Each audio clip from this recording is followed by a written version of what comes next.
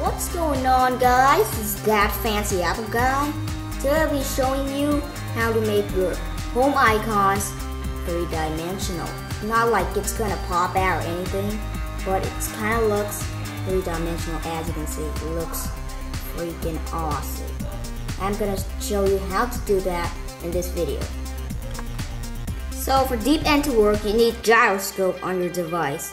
And the device is compatible is iPhone 4, iPod Touch 4th generation, which I do have here, and the iPad 2. Of course, you need to be jailbroken to do this, so we're gonna go to Cydia. The tweak is called Deep End, so D E.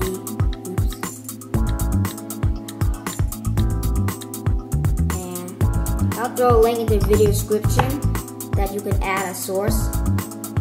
And it's from RipG and install that. And your icons kind of look three-dimensional as you can see. What it is really does is the background's moving so it makes like the icons like pop out.